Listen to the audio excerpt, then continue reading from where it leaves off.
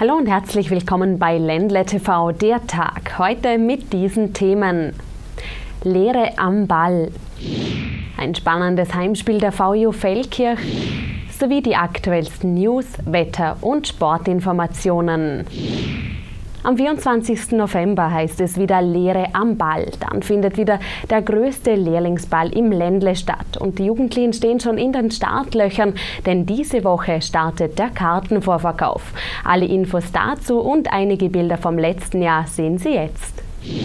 Lehre am Ball ist auch heuer wieder angesagt. Am 24. November steigt im Bregenzer Festspielhaus bereits zum fünften Mal der Vorarlberger Lehrlingsball. Diesen Freitag pünktlich um 14 Uhr erfolgt in allen Hypo-Landesbanken der Startschuss zum Kartenvorverkauf. Gut, wer sich da rechtzeitig an die Verkaufsstellen begibt, schon im letzten Jahr gingen die Karten weg wie die warmen Semmeln. Bereits nach wenigen Stunden war der größte Ball Vorarlbergs ausverkauft. Der Bedarf ist da, die Lehrlinge freuen sich schon das ganze Jahr. Und ja, ich glaube einfach, dass das Interesse seitens der Lehrlinge und der Bedarf einfach da ist für diesen Ball. Wer zuerst kommt, mal zuerst heißt das Motto und wer dabei sein möchte, der darf sich auf ein tolles Programm freuen. Tanz und Musik mit der Gemma Robertson Band stehen ebenso auf dem Programm wie Showacts mit Lehrlingen und Ausbildern der Fallberger Industrie. Dazu gibt es die Ehrung ausgezeichneter Lehrabsolventen und natürlich auch in diesem Jahr wieder den Dancefloor mit speziellen Shows und Live-Performern.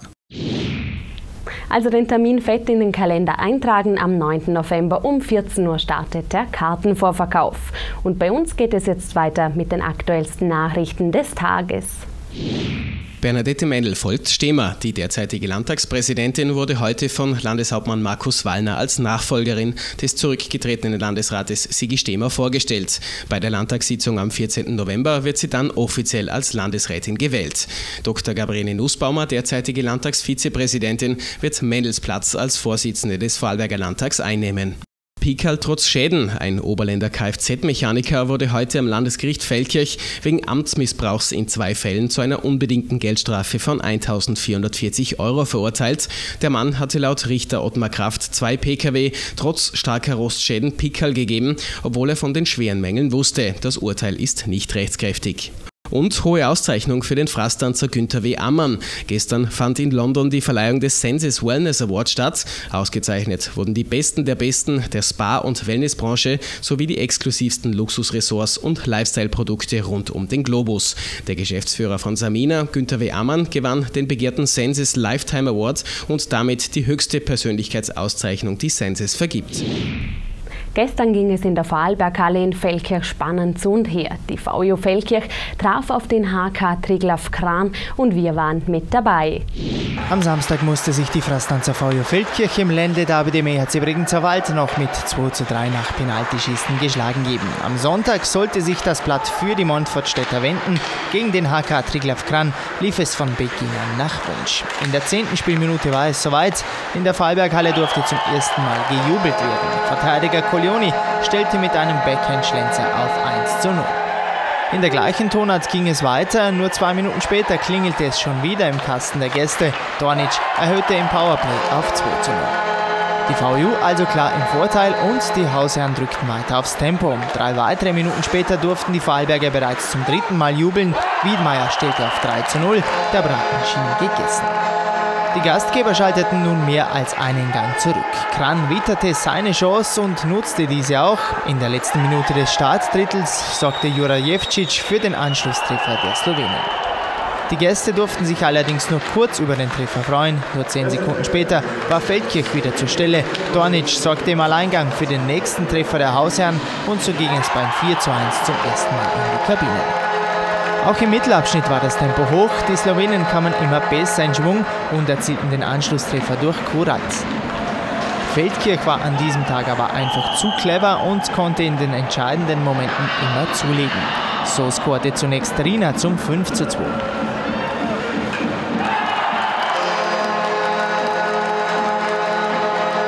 Grabherr Meier doppelte ebenfalls noch im zweiten Drittel auf 6 zu 2 nach. Im Schlussabschnitt zeigten sich die Gäste aber wesentlich aggressiver. Diese Spielweise wurde dann auch belohnt. Ahacic scorte im Powerplay und auf einmal hieß es nur noch 6 zu 3. Wenig später kamen die Slowenen durch diesen Treffer von Bercic gar auf 6 zu 4 heran. Danach machte Feldkirch hinten aber dicht und so siegten die Oberländer schlussendlich verdient 6 zu 4. Gratulation also an die VU Feldkirch. Weitere Sportmeldungen gibt es nun in unserem Sportblog.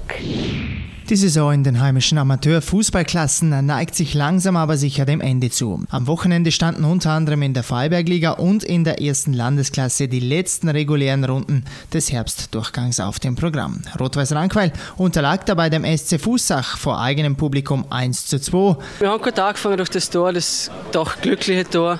Wir haben es bis zur 30. Minute eigentlich gut im Griff, sind wir gut gestanden und haben wir durch irgendwelche Gründe auch immer irgendwie der Faden im Spiel verloren. Brederis kam gegen Kennelbach ebenfalls zu Hause mit 0 zu 4 unter die Räder. Alle Tore, die Stimmen zum Spiel und Tabellen gibt es ab Dienstag im Ländle TV Wochenmagazin zu sehen. Und Teameinsatz für Eishockey-Crack Martin Ulmer, der Angreifer aus Dornbirn, wurde von Coach Manny Viveiros für die Euro Hockey Challenge in Leibach nachnominiert. Von 8. bis 10. November spielt das heimische Nationalteam gegen Frankreich, Italien und Slowenien.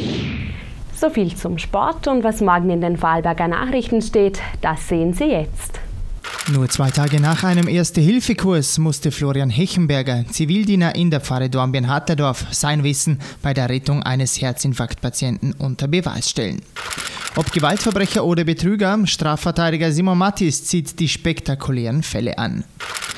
Und VN-Umfrage, Vorarlberger vom eigenen Fleiß überzeugt. 70% glauben fleißig zu sein. Die Mehrheit ist davon überzeugt, dass Vorarlberger fleißiger sind als Innerösterreicher.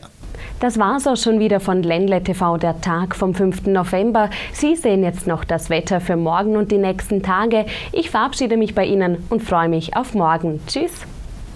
In der heutigen Nacht liegen die Temperaturen zwischen 1 und 10 Grad. Der Wind weht mit 10 km/h aus Südwesten. Morgen bleibt es unbeständig, mehrheitlich überwiegt eine starke Bewölkung und schon am Vormittag setzt wieder leichter bis mäßiger Regen ein, oft auch in Schauerform. Dabei wird es kühler und die Schneefallgrenze sinkt am Nachmittag gegen 700 Meter. Die Tiefstwerte liegen zwischen minus 3 Grad in höheren Seitentälern und plus 4 Grad im Rheintal. Die Höchstwerte am Dienstag 4 bis 9 Grad. Am Mittwoch bleibt es trocken, sonnige Abschnitte Abschnitte dürften aber von ausgedehnten höheren Wolkenfeldern immer wieder unterbrochen bzw. zumindest abgeschwächt werden. Die Tiefstwerte am Mittwoch minus 5 bis plus 3 Grad, die Höchstwerte liegen zwischen 4 und 9 Grad. Am Donnerstag ist es anfangs sonnig, im Bodenseeraum auch länger neblig. Tagsüber ist es in den sonnigen Regionen auch relativ mild. Und am Freitag ist es dann sonnig bei Temperaturen von 2 bis 9 Grad.